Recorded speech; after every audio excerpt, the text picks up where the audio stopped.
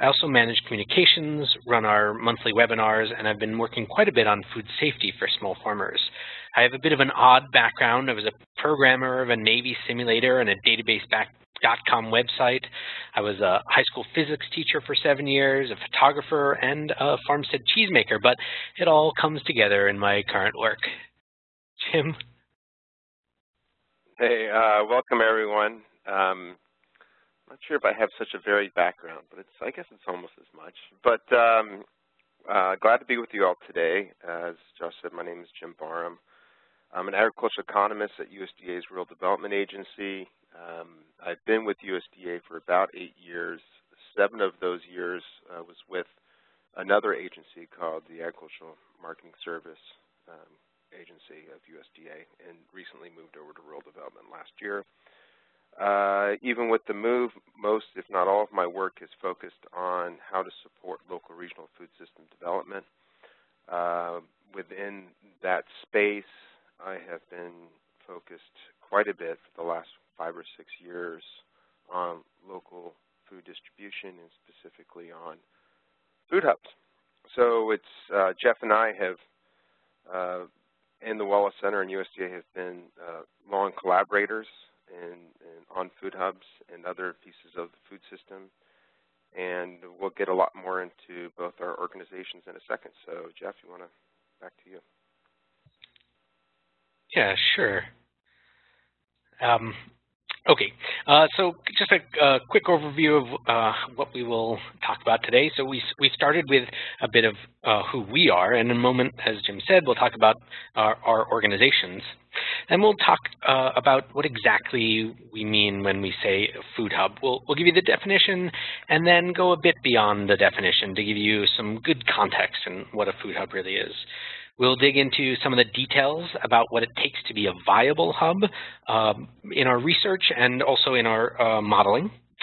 Uh, we were asked to go a bit deeper into the idea of food hubs as processors, so uh, we'll add a bit uh, uh, on hubs working closely uh, with, as processors and working closely with processors. And finally, we'll give you a, a whole bundle of resources that we and others have to move you towards making the right decisions for your situation, uh, from things to read to communities to join. So let me talk about the Wallace Center. Um, I work for the Wallace Center at Winrock International. We are a nonprofit funded primarily by philanthropies who want to create uh, to, sorry, who want to increase the prevalence of food that is healthier for people, more environmentally sound, and more beneficial to local economies. We also re receive funding from the government uh, and from corporate social responsibility interests from businesses.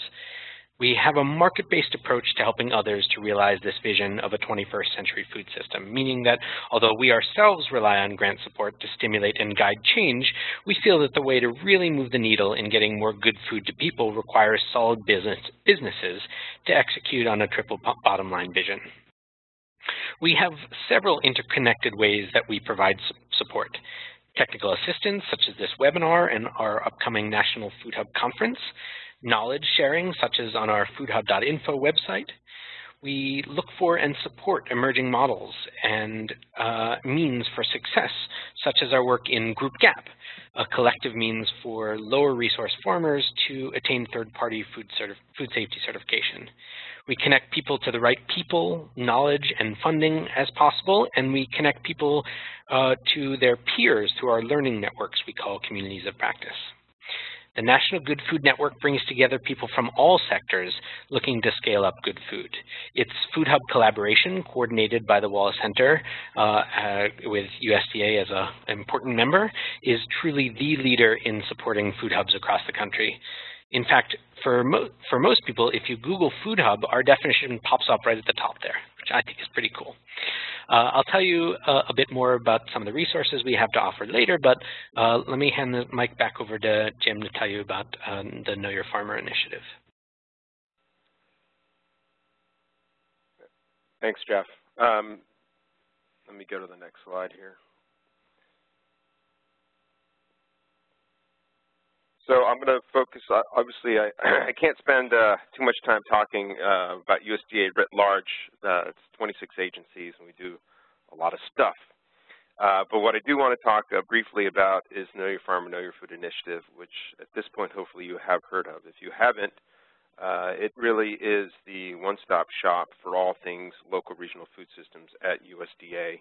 It's an initiative that's been around since 2009, and the purpose of it is to um, really coordinate efforts within our different agencies. Like you said, uh, we, like I said, we have quite a few different agencies, and to make sure that we actually are talking to each other and understanding what opportunities exist for cross collaboration within agencies as well as with our other federal partners. And then finally, uh, Know Your Farm, Know Your Food is also about outreach and engagement with consumers across the United States to have them understand the benefits of being part of a local regional food system. So uh, I sit on the management team of Know Your Farm, Know Your Food. We help set the priorities and the policies for USDA around this particular area.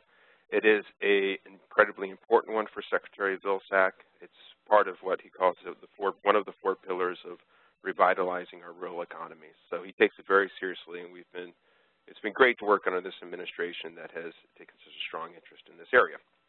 So I'll, at the end, we'll go into more of the resources uh, connected with Know Your Farmer. But I think it's always important in any presentation, uh, even though I think we, we're probably talking to a fairly sophisticated audience, uh, to at least from a USDA perspective of what do we mean by a local and regional food system. And to break it down, what we're talking about are all phases of life cycle of food, that, that entire supply chain from the production to ultimately to the consumption and even the waste and the reuse and, re and uh, recycling of those products. That whole system uh, is taking place within a specific region. And within that region, there are specific benefits, economic, social, environmental, that accrue to that local community. The idea is these products are being marketed as local so consumers can really choose to support local businesses with their purchase. We at USDA do not have a one-all definition for local food. We have a few based on some legislative authorities, but generally speaking, the idea of local food and defining local food is really up to the community within the food system space and what we're going to be talking about today are regional food hubs. Um, you know, at, at, the bottom line of food hubs, we're talking about some core functions that a, a business or organization is doing, and those include aggregation, distribution, and marketing of those local food from farmers, ultimately, to consumers. We have our definition, which was crafted along with the Wallace Center and our other partners. Uh, it has kind of has become kind of our official definition, uh, first posed in a, a, a, joint publication between us and the Wallace Center and the Regional Food Hub Resource Guide. And you can basically read it here. It's this idea of a business organization. Again, it doesn't really matter if it, we're not talking it has to be a for-profit or nonprofit or cooperative. That's less important as the function that they ultimately uh, that they're actually ultimately doing, which is actively managing that aggregation, distribution, and marketing of and here's the key piece, source identified food products, that you actually know where your food is coming from and from whom, and that those products are primarily come from local regional producers who are, are, are basically linking into and satisfying that wholesale, retail, and institutional market demand. Food hubs are more than just um, a distributor. As many people ask me, you know, how do we actually dis distinguish or differentiate a food hub from a, a food distributor? Well, they certainly do those functions, but beyond that, they're offering a suite of other services, often to producers as well as consumers, to the community at large, that really create what we would call a triple bottom line business, or aspiring to be a triple line business. So on the left side of this diagram, you're looking at a number of the type of producer services that, that food hubs typically uh, become involved in or can be involved in. Then you have kind of core operational services, and then on the right-hand side, more of the community engagement piece of this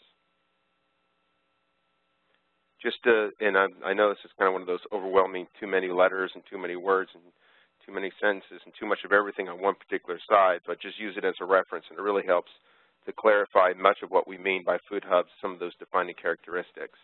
And I would focus on one piece here, and this really is the last check mark, and the idea that food hubs aim to be financially viable while also having other positive economic, social, environmental impacts within their communities. And I focus on that because Food hubs are really at the heart of what we call food value chains. Food value chains are very different from your typical supply chain. The, the typical supply chain, we're looking at the outside functions here that you see. You see you have the farmers ranchers up top, the production side. Then you have the aggregators and processors. Then you continue to go down the circle, your distributors that are getting the food to the restaurants, food service, so forth, the consumers. Those activities, as we know, happen with any supply chain, whether it's the most local or the most international. What differentiates a supply chain from a food value chain is really what's inside the circle. And it says this belief in this set of systems of mission values and operational values that everyone in the supply chain are trying to achieve. So when we talk about value chains, we're talking about how a, a set of businesses, strategic alliance between businesses, are there to try to create and produce both financial success as well as social benefits within that supply chain. So we're looking at a set of shared mission values that that particular supply chain may uh, adhere to. Maybe they're really focused on uh, farmland preservation and sustainable production practices. And then they're also maybe focused on, well, they would all be focused on with the value chain, all of these operational values of accountability, long-term commitment, transparency, and ongoing communication within the value chains. I, I, embed or I embed food hubs within the value chains because it's really it's the almost the quintessential business that's helping to link a lot of these pieces together within value chains. And I wanted to at least socialize this idea of value chains with you today um, as we continue to talk about kind of food hubs in the future and the role they play within our food system.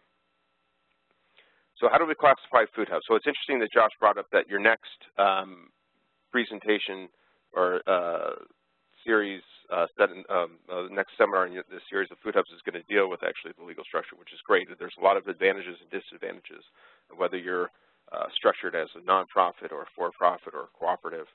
Um, but when it comes to classifying food hubs in terms of what, what's really meaningful in terms of why food hubs succeed or fail, uh, it really doesn't have much to do with their legal structure, believe it or not. And we, we have quite a bit of data to back this up now.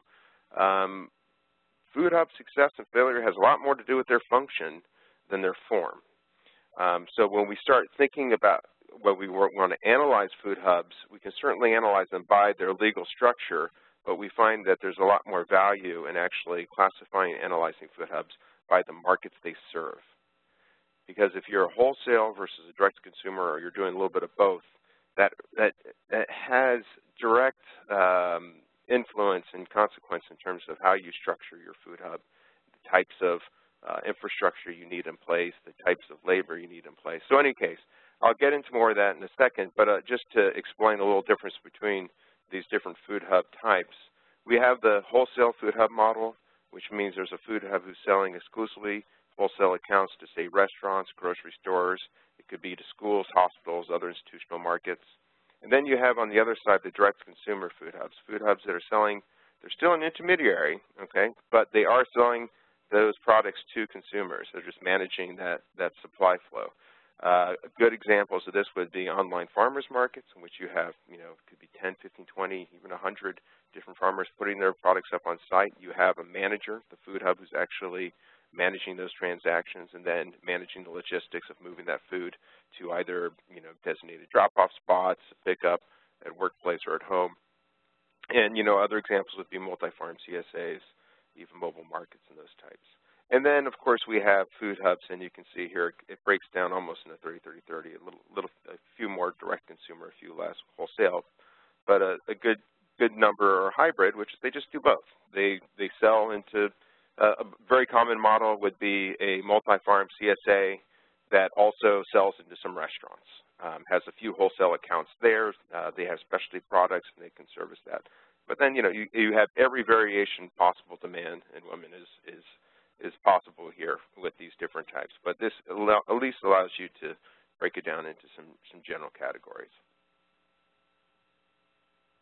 I'm not going to focus all on, we could spend the whole um, presentation talking about Food Hub best practices, and there's a lot out there, and there's a growing number of things that we're learning about what works and what doesn't work with Food Hubs. And, you know, it's always within a certain context. In some cases, what seems to work for some Food Hubs doesn't work for others, but generally speaking, I've listed here about 10 uh, keys to successful marketing for food hubs that seem to hold across the board. Um, things like product differentiation and making sure that you're not selling, you know, a commodity that's that has no value uh, to the consumers beyond, you know, it's just an apple for an apple. Well, you're not just selling apples. You're selling a particular story a particular variety of apple that is compelling to um, a segment of consumers. And so these are the types of things we're looking at. Um, so there's some here, and then you know I get a little cheeky with this second set of, of, of, of keys to success or best practices, such as you know obviously it's not a good idea to poison your customers. You know they, they don't tend to like that, but it gets into this idea that you know when you're thinking of your business and how you're going to ultimately structure your business, how you're going to run your business, there's just certain things that you have to keep in mind, like say food safety, and making sure when you're setting up your food hub business that food safety isn't an afterthought, that you've already set up a system that is going to adequately address um, both uh, mitigate any risk of foodborne illness as well as have a, a, a, robust traceability system if something seems to go wrong so you can recall products. All that kind of stuff, it just has to be built in inherently and at the beginning and integral to your business. And then there are things like this one, and, again, it's kind of cheeky, never forget supply, supply, supply. And without ensuring a consistent, reliable supply of quality products, you have no business running Food Hub and you will have no business. Well, it, it's uh, it's shocking actually to the number of food hubs I've talked to who have, who haven't really fully uh, come to terms with what their supply is going to be. Um, sometimes you have food hubs that set up and say, well, you know, I, I really only want to source 50 miles away from, from where we are. Well, that's all well and good, and that may serve you for two months of the year, but what does that mean for the rest of the year? And will you be able to uh, retain kind of a consistent supply um, in the years that you may not be able to pull products from that very small um, supply area? So anyway, it's, it's a lot of things like that. Some are pretty common sense, but tend to be forgotten at different points in time as you structure your business. And the one I want to focus on the most is what I call the oxygen mask rule of food hub viability. Uh, we spoke earlier about this idea of food hubs as part of food value chains, as part of businesses that are looking to be both financially successful but also um, develop and, and, accrue a number of social, economic, and, and other environmental benefits to the community. And that's all well and good to be to aspire to be a triple bottom line business and to and to want to have all these other uh, social benefits. But if you can't secure your own oxygen, and that's your margin to actually run a successful business, then the rest of it, the mission, um, will no longer matter. Uh, so it's about securing your oxygen first, getting yourself on financial sound footing before uh, really um, diving too deeply into some of the other social benefits. And again, a lot of these are intermingled and intertwined, but sometimes you have to disentangle and say, what are kind of our core operational functions? What do we really need to be doing so that we can ultimately, in the end, serve our mission? So along those lines, we've worked uh, both with the Wallace Center and with folks like Jim Matson with Matson Consulting, who does a lot of work on food hubs, to kind of look at the viability of food hubs. Um, one of the questions that uh, the Wallace Center and Michigan State University asked in the last survey was about uh, food hub dependency on grant funding, because uh, you know a lot of people are concerned that uh, you know if this external funding is uh, goes away, will food hubs still be able to maintain their core functions? And interestingly enough, uh, just about half said they're actually not dependent at all on food hub funding, which was a which was very um, um, actually even somewhat surprising finding, but in the end a very hopeful finding in terms of food hubs being able to kind of maintain their core operations. And even the ones that said somewhat dependent, uh, as you know, is the the question is framed and the response to that question is given. It really is saying we're we can exist without any external funding and maintain our core operations of aggregation, distribution, and marketing local food products. That means they wouldn't have the ability to provide a lot of the other services to producers and, consum and consumers in the community at large, but still it does mean that fair number, over 80% of food hubs that were surveyed and responded to the survey uh, were on, on decent financial footing, which is great to see. We also know uh, from some modeling that we've done with Jim Matson and his group, and we actually uh, did a webinar at the Wallace Center that I encourage you to check out uh, that we call, I think it was called the Million Dollar Question, and, and, it was kind of, you know, in one way, it's a, it's about trying to um, provide some baseline of what it takes to have an operational break-even or even a viable food hub. It's a modeling exercise, so uh, you know you have to take all, all, these types of numbers with a grain of salt. That being said, it gives you some kind of benchmark in a way. And what we know from um, that modeling, based on real food hub data, so it's not just pulling this out of the air, is that, um, you know, to get kind of operational break even, you're looking at around a million if you're in the wholesale um, just doing exclusively wholesale accounts, and to get the viability, which is when you actually are you're make you're profitable and you can put you know money aside to ensure uh, you know have your rating day fund. And so if your truck breaks down, you you're fully equipped to finance another one, you know, and, and can deal with a lot of contingencies that you're in that kind of 2.4.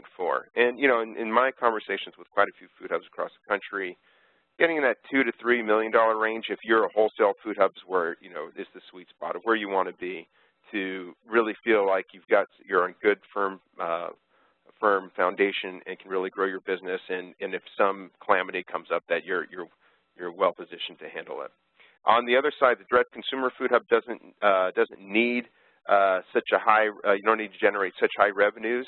A lot of it has to do with the smaller footprint of a facility, um, and you know it's a lot of um, just-in-time inventory, moving products in and out. Uh, you can rely uh, quite a bit more on the infrastructure that might be already available on farm, um, less storage capacity. Just there's a lot of reasons behind not needing that same kind of uh, um, high level of annual sales. And so for direct consumer, to kind of get to that really profitable, viable, you know, you're in about the half million dollar range. And you know, I'm, I'm going to give you a few scenario analysis, but if you want to go deeper into this, I recommend checking out that webinar if you haven't already. And let me just let me just jump in, Jim. Uh, um, direct to consumer, I think, also has a tends to have a better um, you know unit mar margin. However, um, the the market is almost always not uh, super big. Um, so it's it's uh, uh, it. I have a tendency to see, oh, direct to consumer, all I need to make is 300, push $300,000 and I'm I'm all set. Uh, but but it's it's hard to find those uh, those buyers in in uh, some communities. Yeah, and it, the, the another way of, of, really classifying these two models, wholesale is is high volume, low margin, and direct consumer is low volume, high margin. Uh, and so trying to, to balance those two. And, in, and sometimes you can, you know, with the, a lot of food hubs, obviously over 30% are doing both of this because they've they may have uh, pretty high volume in certain products, which allow them to move to the wholesale accounts, and then they might have low volume but really high specialty products that they know they can get a high margin by selling direct to consumer. So uh, one of the things we did was provide some scenario analysis, and it all begins with the fact of some assumptions.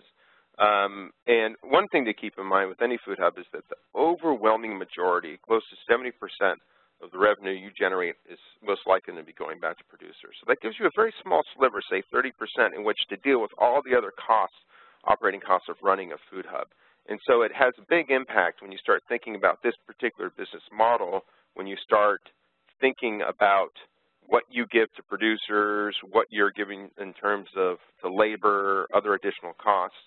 And so this, I think, is really one of the most, you know, in the study that uh, Jim Matson did for us at USDA on the financial viability piece, is one of the most stunning ones, which is really uh, what you ultimately decide to pay to your producers. And if, you know, we, we use for the model a baseline of 70%, and just so you know, the, the scenario analysis here is based upon the wholesale model break-even, operational break-even, which is about 1.2 million, and you use a baseline of 70%.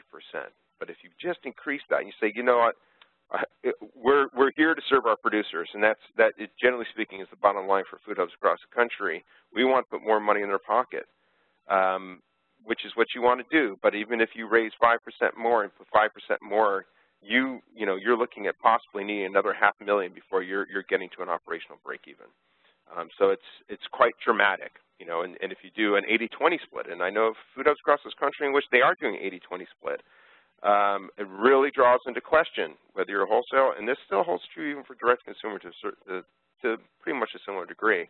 Uh, you know, you could, you're talking doubling, almost tripling what you need in terms of your overall annual sales um, to get to that operational break even if you're putting that much more money in the pocket of producers. Uh, and this is a conundrum. This is one that, of course, within traditional distributors, there's a there's a very good reason why um, a lot of consumer, uh, a lot of producers complain that they're not getting a fair shake from the distributors. Well, there's a lot of costs associated with distributing. It's a pretty low margin business uh, or tight margin business. So that's just one of those things to kind of really keep in mind and be thinking about from the very beginning of starting a food hub. Like, what can we realistically pay our producers that is obviously going to make sure they're getting a fair price for their products, yet at the same time ensures that we can run an operation and pay our expenses. Uh, additional labor costs, here's another piece of it. And so if we think of, of just simply um, 40,000, maybe a low for in some places for a full uh, full-time employee in FTE, but let's just take it as that as if you're adding one more employee. All of a sudden, if you have, again, starting your baseline of 1.2, because there's such a small sliver that actually goes toward operations, things get exacerbated quite quickly. Say you add a couple employees, you might be moving from a baseline of operational uh, break-even of 1.2, and then all of a sudden, you know, you need you're up to 1.5, 1.6, almost, you know, 400,000 more. It's, it can be quite remarkable. So labor is the second largest cost that food hubs face and thinking how to use that efficiently and effectively. And, and in many cases for food hubs at the beginning, it, it requires it's a lot of sweat equity and volunteers, and that can serve you at the beginning, but ultimately over time, you want to build up that institutional knowledge and that professionalism and, you know, hire staff um, is going to get you into that more viable stage of development. Uh, but it, it is the largest uh, cost after, you know, um, payment to producers. And alternatively, and this is also quite remarkable looking at the model, what some external funding can do to help you really uh, uh, cover your operational costs. So, you know, a 1.2 million again at the baseline. If you were able to acquire 50,000 annually outside of your operating budget to, to, well to offset some of your operating costs, it lowers remarkably your your actually your operational break-even number. So if you get 50,000, you know you can take it from 1.2 to almost less than a million dollars. Um, so one of the things that doesn't mean that we're advocating that you should be find external funding for the rest of your life because we know how precarious that can be, but it does make a good case for as a food hub is getting up and started and is looking to be, you know, efficient, uh, lean business. At the same time, you know, an injection of some community capital uh, can go a long way to getting that food hub to be on firm footing sooner uh, than later. Okay, and with that, I'm going to turn over to Jeff. We've been pretty conceptual this whole time. Uh, so now we'll at least get some examples, and um, and, and with the uh, let's maybe slightly more focus on processing, but I'll let you take it from here, Jeff. Sure. Okay. Um, so uh, th this is this is an example about um, uh, how ongoing support can really uh, really change a, a, a whole a whole state's food system, or, or at least it's on its way. Um, Cherry Capital Foods is a model hub in many ways. They're located in Traverse City, Michigan, uh, and they are a for-profit food hub. They have really diverse markets. They run the gamut from you know, white tablecloth restaurants, high, high margin white tablecloth restaurants, to uh, school and other institutional food services which are tend to be low, lower margin markets, uh, and plenty in between. Their growth is truly astounding. Pretty much a 50% growth each year they've been in operation, which means uh, adding $2 million in revenue over last year. At, so they, they are now on track for $6 million uh, once 2015 closes out. And if this keeps up, uh, and you know every indication is that it will, uh, that's $9 million of revenue for 2016. Tons of food, literally tons of food. Yet, and here's the point of me talking about Cherry Capital Foods here, they have still yet to make a profit. They have many employees, many trucks, 12 trucks currently, I think, uh, two warehouses. They recently changed the software they use to run the company. There are lots of expenses. Um, these, these guys are alive, truly thriving, really. Uh, because their owner has significant personal resources to support his long-term vision of really changing the Michigan food system in a fundamental way. They'll make a profit, significant profit, at some point, uh, and this hub has the resources to build a benevolent yet dominant com company in Michigan uh, that uh, that uh, patient investor is key. And I have up here the Amazon.com model, which is, uh, you know, Amazon.com tons and tons of revenue, and only recently uh, has just barely started to, to turn a profit. Lots, lots and lots of uh, reinvestment into the the company. Uh, I, I, did want to emphasize that benevolent point. Um, they are committed to supporting Michigan farmers and eaters. In addition to sales for the farmers, they are at some expense building the foundation for a significant Group GAP program. And uh, if there are questions about that, I'm happy to talk about Group GAP. Um, they have uh, built a sophisticated shared use, shared use facility for local value-added food businesses who are in a, sort of a tweener stage, too big for a shared use kitchen, but too small for their own bricks and mortar. So they are really uh, ch changing the landscape and yet not making a profit. So uh, keep, keep Traverse City, uh, the, Cherry Capital Foods is a good example of uh, a fund that uh, uh, a hub that doesn't fit exactly the the 1.2 million or even 2.4 million dollar uh, model. Jim, you want to present this slide, and I'll I'll give a few more examples. Yes, I was on mute. Okay, um, so one of the other things, and this was, uh, you know, when we were talking to Josh, he's like, look, there there seems to be a significant interest uh, by at least a segment of our stakeholders to really be thinking about processing. That there's there's opportunities there for local food processing um, you know, what, what, what hubs are doing this kind of thing. Um, Cherry Capital has kind of developed a shared use uh, capacity. And just from our, our uh, survey from last, last time, and by the way, the MSU and Wallace will be putting out, I believe, the, the new survey results sometime in November or so. So we'll have even more update data fairly soon.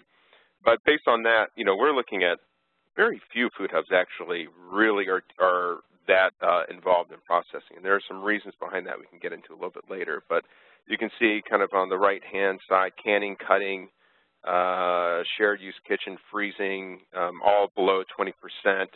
And, um, you know, the overall processing facilities is 23%. And that was a, a low response number.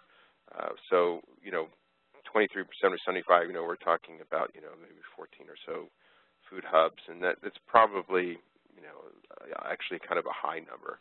Uh, but we do know that, you know, over 40, sorry, over 50% of hubs are selling value-added products, and I know many, many hubs would love to get their hands on more value-added local products uh, because it helps them with uh, diversifying their, certainly their product portfolio and being able to offer products in off-season times when, you know, they may not have a lot of the fresh products available.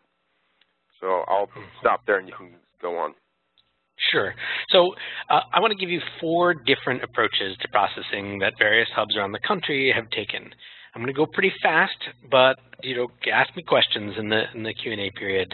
Um, and also, I want to note that in almost every case, I have a resource listed uh, for you to dig in way deeper as appropriate. Uh, and those resources are generally on the slide.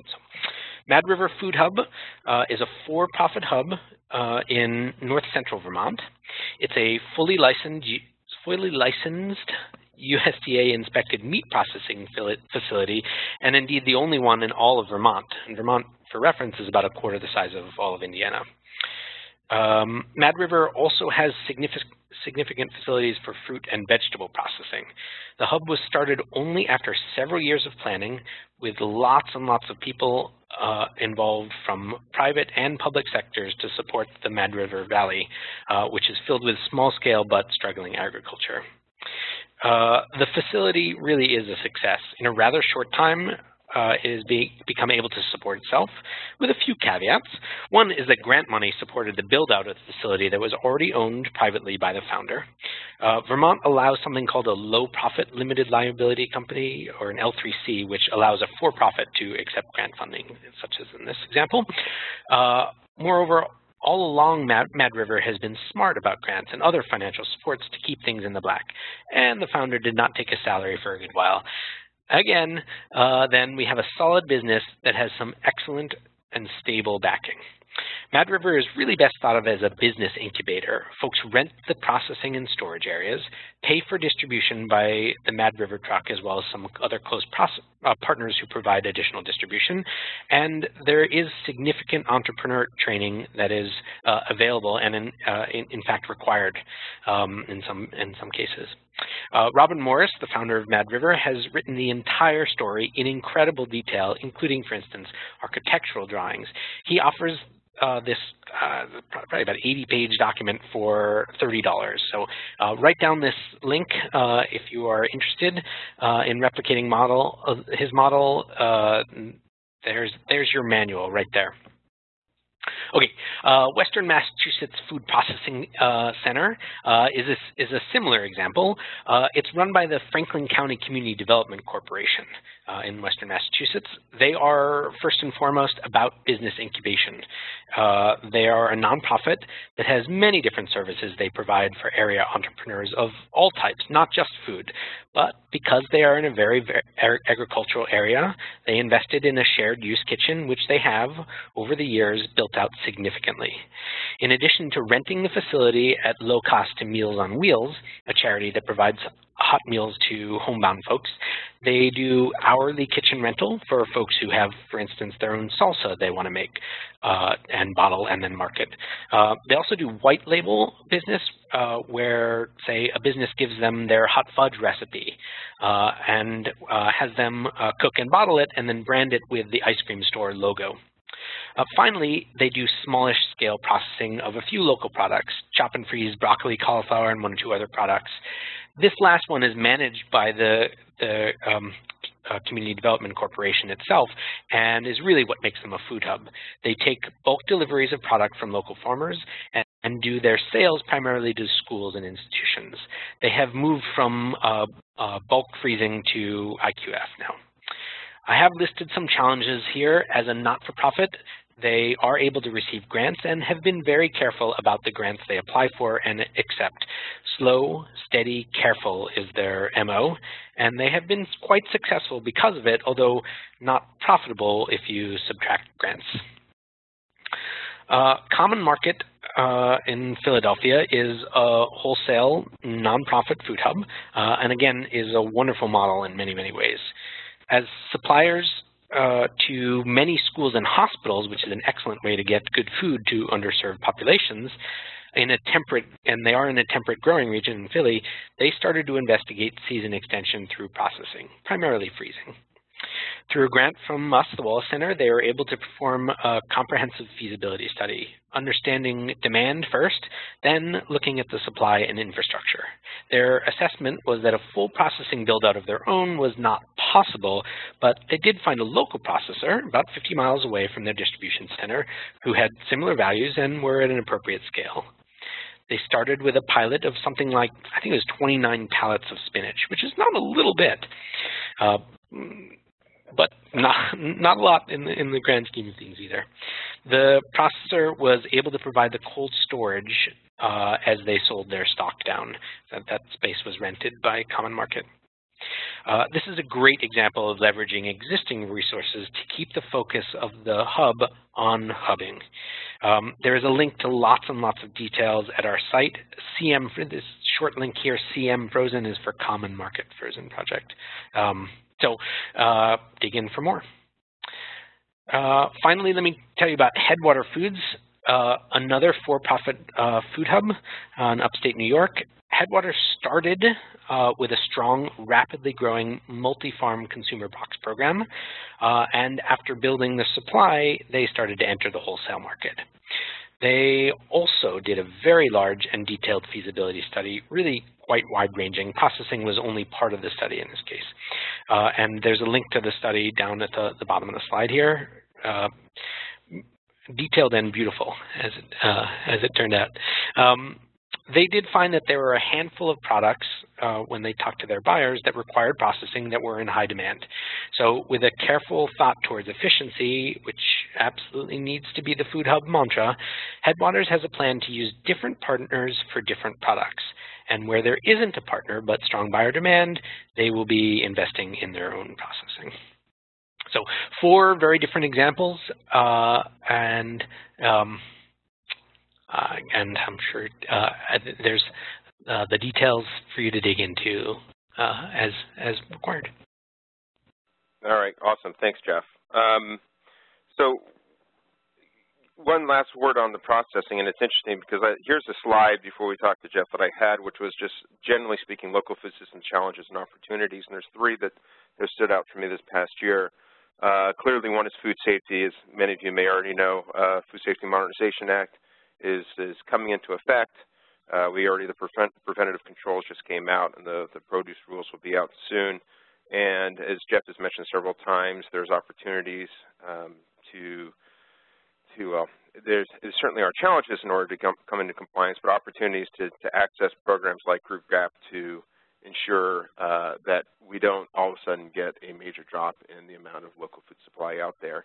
The other thing, of course, is what we're talking about in the local food infrastructure, and I say especially processing here, and it's been something that has, has popped up quite a bit this last year from a number of food hubs, thinking of, well, maybe I, you know, we're exploring this opportunity to um, begin to actually process products, and, and using the, the Headwater example is a good one in which, you know, they're saying, well, you know, we, we want to do some IQ, IQF, some um, some quick freeze products, individual quick freeze, um, uh, but that's pretty pricey equipment. We know there's there's a partner out there who does do that. Maybe we're, we're best off, and, and ultimately in the end, their study showed that they're best off not, you know, making that type of investment, but partnering with others who have that equipment and they can can work together. Um, and then similarly, some fresh cut uh, chopped broccoli and, and and, and, cauliflower and other other things that another partner uh, has been doing and could do for them. But then, you know, they were looking at things like fresh salad greens and, and, and the high demand market for those of local fresh salad greens, but no one really having that, that maybe equipment's probably out there, but no one really willing to partner with them, and they're thinking, well, this might be where we might make our investment. So very selective in terms of their investment of in the processing space. And I will say overall that, boy, food hubs who have kind of penciled a lot of this out don't find a really viable option out there to be adding this additional service onto their business. Food hubs are at their core, aggregators and distributors. Adding a processing element is um, precarious at best. It requires a lot of volume. It, the labor costs are high, the equipment costs are high. Um, so it's something that any food hub or any business who's thinking going to processing should really think long and hard and do the right analysis uh, before willy-nilly going into something like that. Um, so within the food system space, obviously these challenges exist, whether it's in the food safety or, or finding scale-appropriate infrastructure or just uh, adequate, consistent supply of local food. USDA is there to help, uh, as well as the Wallace Center, and we have a lot of resources available. As some of you may already know, that we have a lot of technical assistance resources, a lot of it we've done in partnership with the Wallace Center and others. Uh, all these can be found at our websites that you'll see here. And we'll share this slide deck, or Josh can sell this slide deck, because I'm going to move through our resources section fairly quickly because a lot of it, uh, you know, you can just look online to get those things. Food value chains is another report that we put out with the Wallace Center that goes in a bit deeper of what I was talking about earlier um, about kind of the, the role the food, food value chains play within the food system. Um, one thing I want to highlight, and many of you probably already know this as well, is that um, coming over to rural development, I helped to start a new textbook report series on food hubs. The first two here listed, Lessons Learned from the Field and Business Operations Guide, are actually out. Uh, email me if you'd like a hard copy. And then the next one will be on financial viability. It's not out yet, probably sometime this winter. And it, it will talk about a lot of what we, I've mentioned today, the, the different kind of financial models of getting to operational break, break even and even viability. And then uh, there's another Food Hub uh, report that we'll be doing on why food hubs fail, which is my favorite report, um, not because I like to see food hubs fail, but you can learn a lot more from failure than you can from success. So we're looking forward to putting uh, that particular piece out on the street sometime this spring. Uh, and then uh, there is also some upcoming training opportunities. We've been doing this in partnership with Wholesome Wave. They developed this fantastic uh, Food Hub Business Assessment Toolkit which is really, uh, it's essentially targeted for uh, investors and food systems funders who are looking to assess kind of the uh, food hub readiness for investment. Um, we've developed a, a, companion online training um, course to, uh, to help people walk, walk, walk people through this toolkit. Uh, you'll see a lot more of that uh, coming in the future. Uh, Wholesome Wave will be hosting this training that you can download for free on their website. We're still working out some logistics, but it's upcoming, and I'll, I'll keep you posted. Or at the very least, I'll keep Josh posted, and he can get this out to you guys. Um, we have our own USDA Food Hub portal at uh, that, an agricultural marketing service with a lot of good resources there. And then, of course, uh, the Wallace Center uh, through the National Food Hub Collaboration has a fantastic uh, website as well. Really cool webinars. And I'll have Jeff talk a little bit more about those resources. Sure, yeah. foodhub.info is great. Uh, it's a hub-focused page on uh, within ngfn.org. Uh, and I did also want to point out uh, uh, the webinars. They are great to attend live, um, and there, there is we are having one in two days on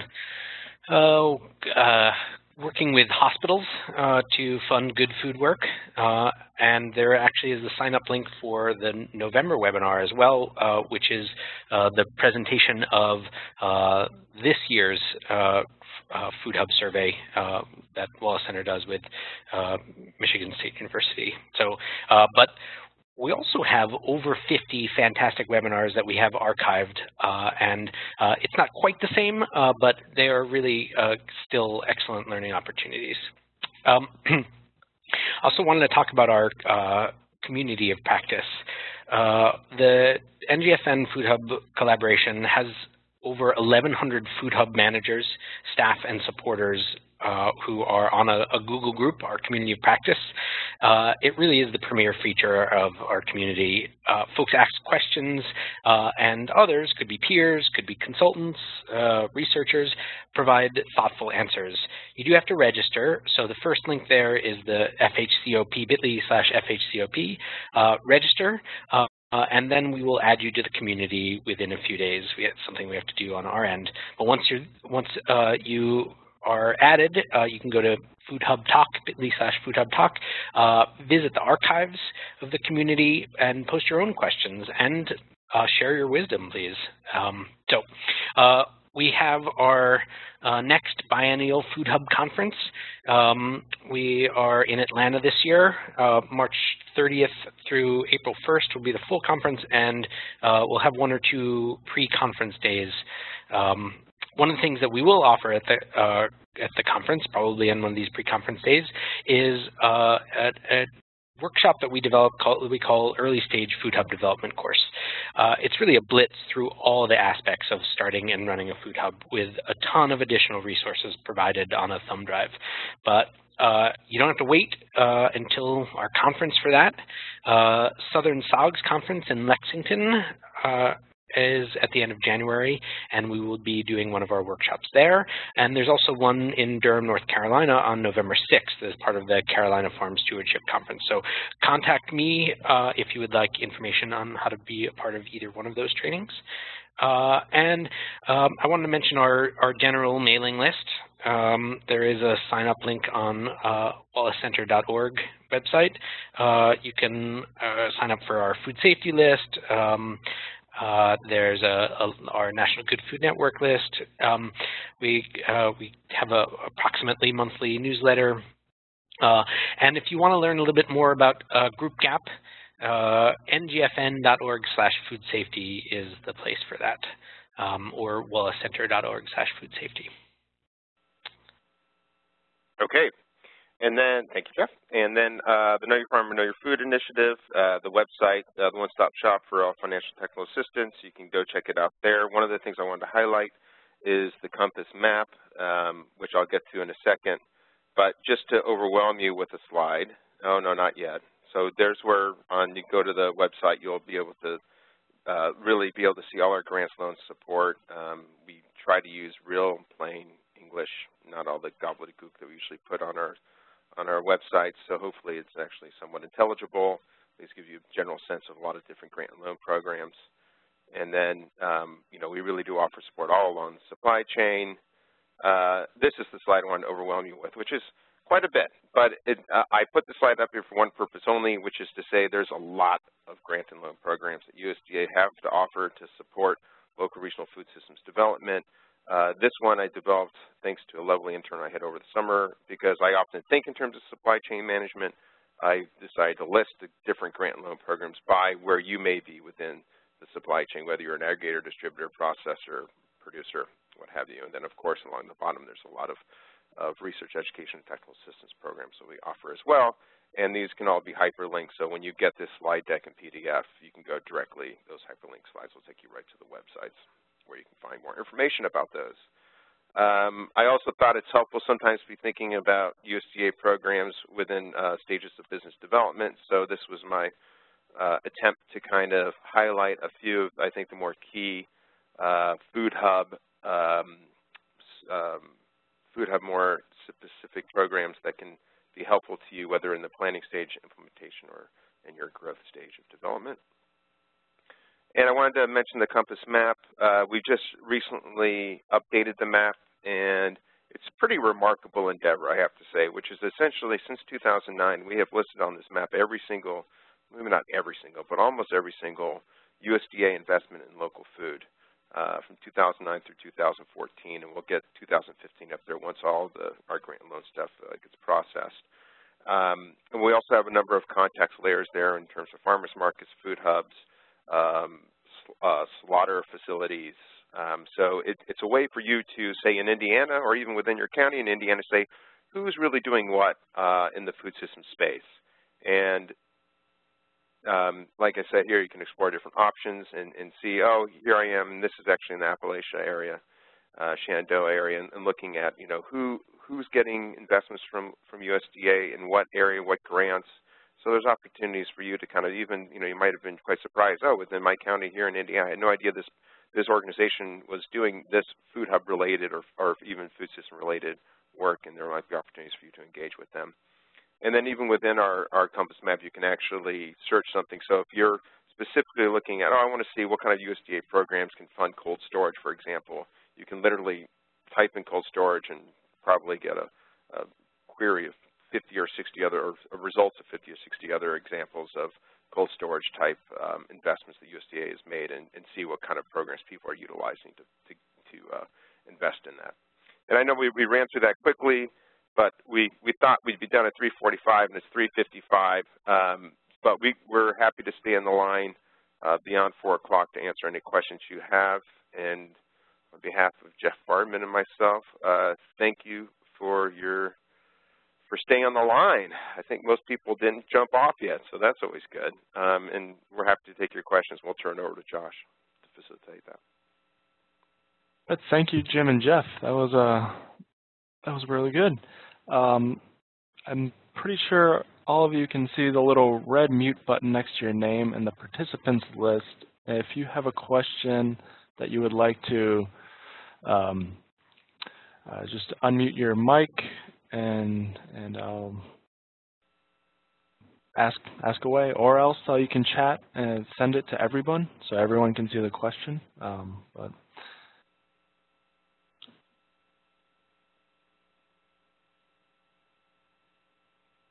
I do have I do have a few questions of my own.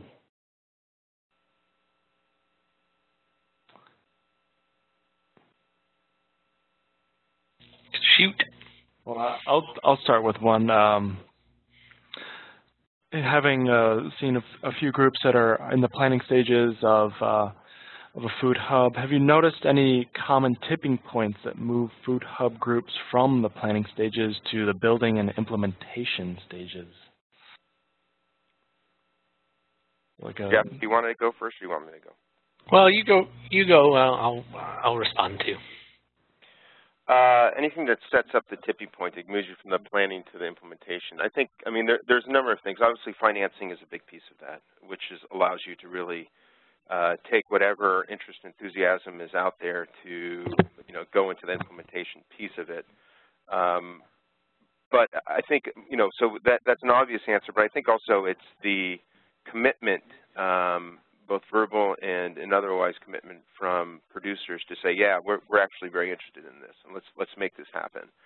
Um, not all all the financing in the world isn't going to get a producer to commit if they're not feeling comfortable that you as the food hub manager, as you as the food hub organization, uh, have not uh, developed that kind of trust and that kind of relationship with the producer community. And of course, the, the same goes for the buyer community as well, who is expressing an interest in buying products. But I, I think it almost always starts on, on the uh, supply side uh, with the case of food hubs, um, that mm-hmm. most successful food hubs have built up a cadre of committed, serious producers who see value in working with this food hub organization. Mm -hmm. And that takes time on both sides, right? It takes time to to build the trust uh, from your from your supply, um, and um, you know it, it, takes uh, it takes time for your buyers to um, to basically buy enough that it, it is viable for you to deliver to them. Uh, I'm talking about wholesale here, but um, uh, and uh, this is this is that's that ramp up period where um, where you, you, you, need to feel uh, financially supported uh, to allow for allow for growth. I also wanted to um, bring up the the point uh, that I would I would like to sort of spread the world the the word around the nation that uh, it takes uh, just as much courage to decide yes I'm going to open this food hub as uh, often it does to decide you know what this is not right um, and uh, I there are other ways for me to have positive effects on my food local food system without uh, starting a food hub. Um, something that uh, uh, it doesn't have as uh, cool a name as food hubs, but um, uh, a value chain facilitator or value chain coordinator is a, a person or organization who um, makes makes good food happen, uh, not uh, directly involved in the buying and selling and transportation uh, of the good food like a food hub is, but uh, is that person that um, uh, you know makes the connections between between the supply and the buyers.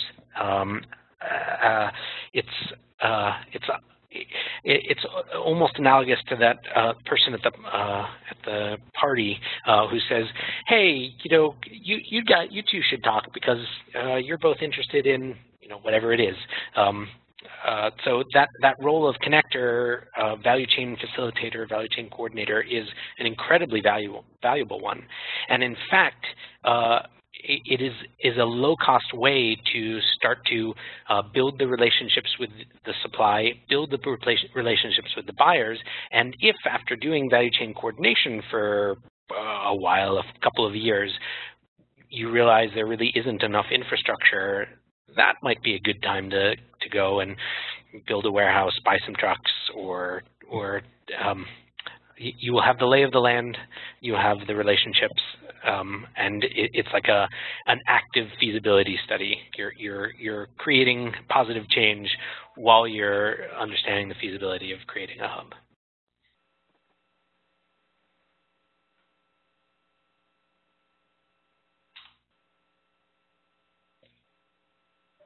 So there was a question in the in the chat box.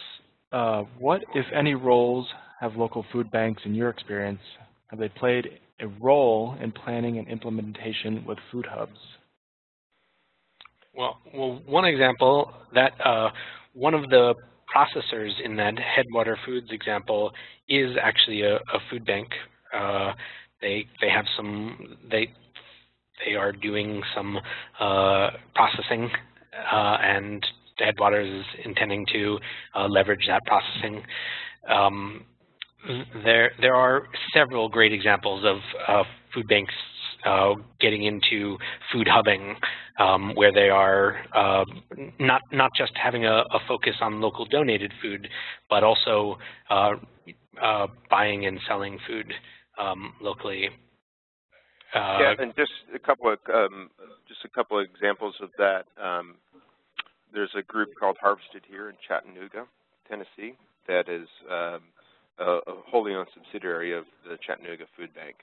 Um, and, and, the way they decided structure was like, you know, some food some food banks are are literally um, brokering and, and, buying and selling food on behalf of, of, growers, just like any food hub, and then others like this one have set up a subsidiary to do exactly that because they can see the interconnections, and it just it ended up working out very well for them. And then we know examples. We mentioned Common Market earlier. When they first got started, they worked with the food bank or a, or a hunger relief organization similar to that that um, had uh, storage capacity or underutilized storage that uh, common market use. So they, their first storage and warehousing was, was with that food bank. And similar situation with another food hub called Green Market Co. in New York City. Um, food banks could make fantastic partners specifically because of the uh, investment they've already made in, in you know, trucks and warehouses. So it's it's certainly something to to consider as an as an early partner as you maybe ramp up your food hub operations. Or may, you may even see, like you know, as Jeff said, well, maybe we don't need a food hub. Maybe there's a role the food bank can play that would be very similar to a food hub in this community that would really meet the needs of producers and meet the needs of consumers.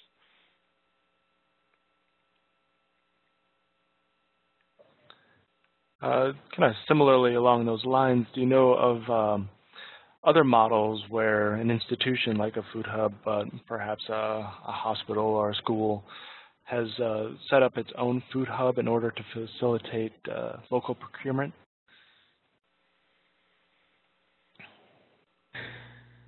Well, uh, uh I, I want to bring up a, a, technicality, which is, which is that um, uh, a hub uh, has to have um, multiple uh, suppliers uh, as well as uh, multiple buyers.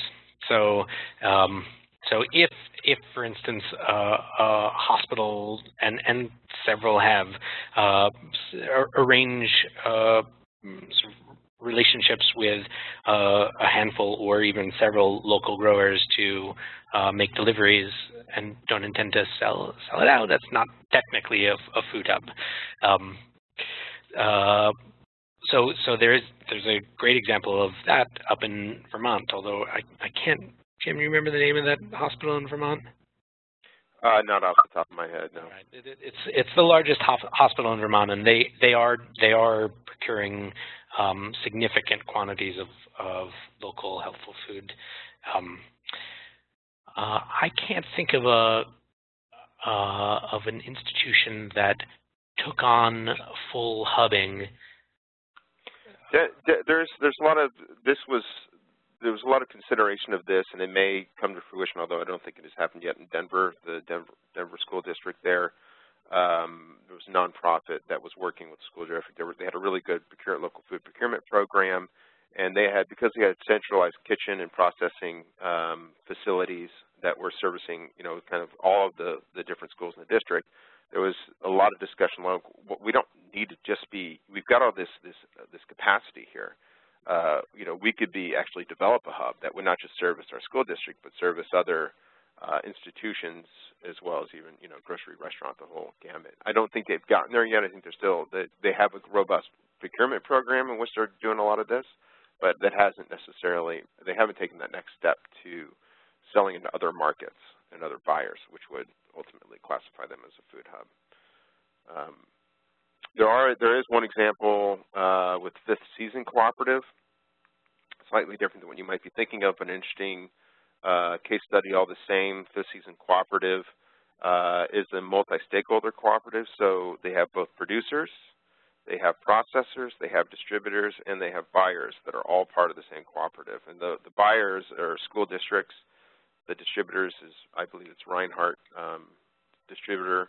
Um, and so they, there's, th that's an example of where oh, part of ownership of this food hub is actually, you know, the, the institution itself, as well as distributors and the producers.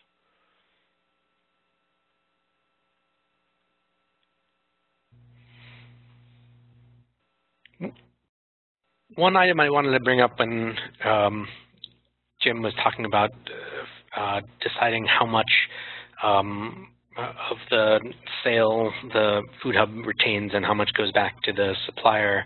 Um, th there, there are a, a, wide variety of food hub models, um, and uh, some provide more uh, more services for the growers. Others provide fewer services to the growers. So, uh, uh one uh, notable sort of low uh, zero infrastructure model uh, is uh, Red Tomato um, in Massachusetts. Um, they uh, are uh, they are full food hub. They do uh, they actively manage the aggregation, distribution, and marketing of the the food, but they own no warehouse. They own no trucks. Um, they they manage the logistics, so all all of their growers have have are of significant size and uh, have their own infrastructure or arrange their infrastructure. Um, uh, and uh, they give a very large percentage uh, of the the wholesale dollar back to the farm, um, but fewer services are are offered. Um, somewhere in the middle uh, would be um, uh, maybe Farm Fresh Rhode Island, uh, who um, does not do aggregation, but they do do distribution. Um, they and they do not, although they're just barely starting, but pretty much they don't do any uh, any marketing other than providing a, a, a common market online marketplace uh, for growers to list their own products. Um, so they're sort of in in the middle of how much they charge for overhead. Um, and then there are the more full service uh, food hubs that have trucks and warehouses like Cherry Capital Foods, uh, who then take sort of a more like a, a you know the sort of on the larger end because they're the growers are paying for more services. So uh, clever clever arrangement of businesses a, business structure can uh, help determine uh, how much you can charge.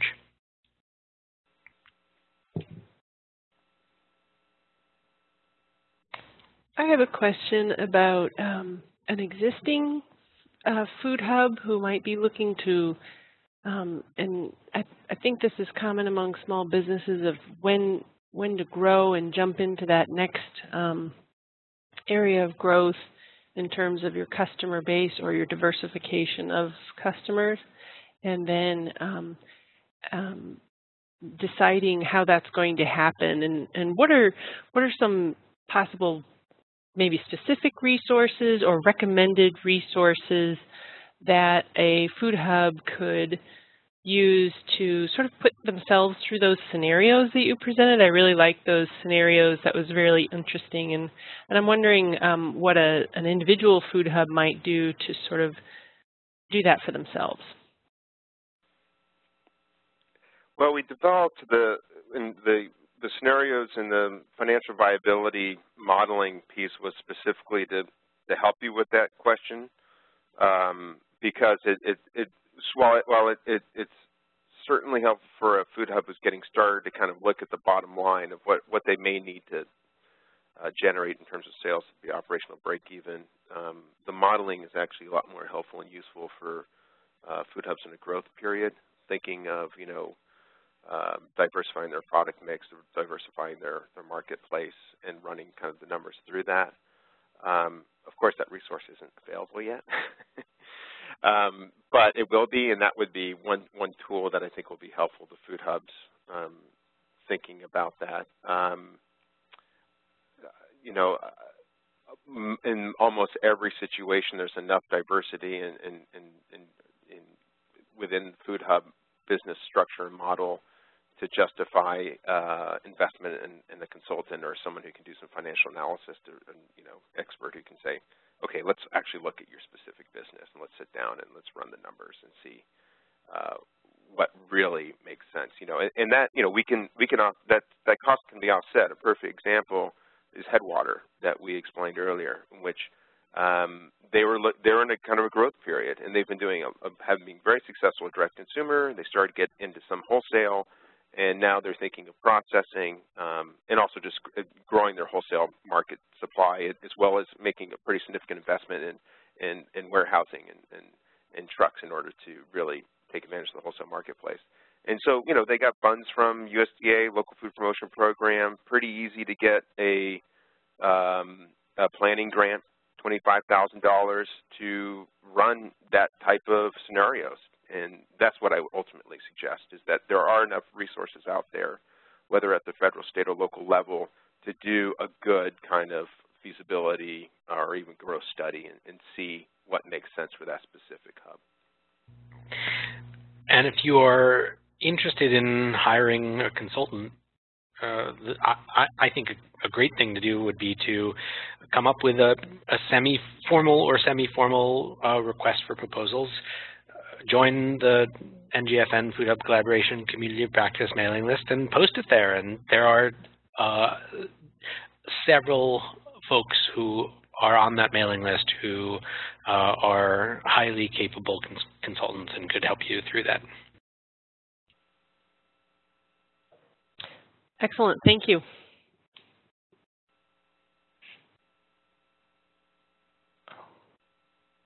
All right. I think uh, if there aren't any more questions, I think we'll call it time for now. And uh, just want to say thank you again to, to Jim and Jeff for, for their time and for putting on a presentation for us. Thanks, Josh. Yeah, our pleasure. And as Josh mentioned, he'll will um, he's got the the slide deck and he can make it available to you all. And um, you know, there both Jeff and my contact information is on that deck. So if you have any follow-up questions, don't hesitate to contact us. Mm -hmm. I just want to remind you, two weeks from now, there will be, uh, at the bottom of the slide, it says, a future webinar on how to choose a business structure. There is a fantastic guide uh, by Wholesome Wave uh, that goes through the pros and cons of uh, the various structures for profit, uh, well, even uh, like limited liability, all the different for-profit models, um, nonprofit, uh, and then what we really want from all of the participants is some questions for our presenters because uh, the guide is such a good guide. Uh, we just want some um, some questions that will uh, that you have uh, that will drill down further into that guide um, and is more specific. Um, so, for, well, I just want to thank you for your time, even going 15 minutes past 4 o'clock. So. Hope you have a good afternoon. Thanks. You too. Thanks. Yeah. Bye.